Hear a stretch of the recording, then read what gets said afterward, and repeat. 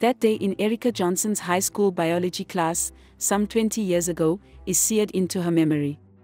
The teacher was leading the students through experiments involving cells from a widely used line known as HeLa.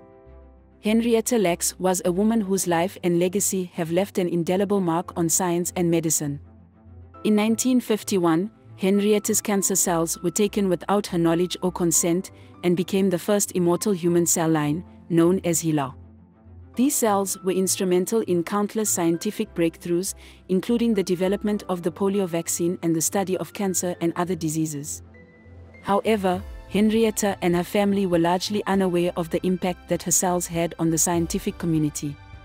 It wasn't until decades later that her story was brought to light, leading to a renewed appreciation for her contributions to science and sparking important conversations about ethics and consent in medical research.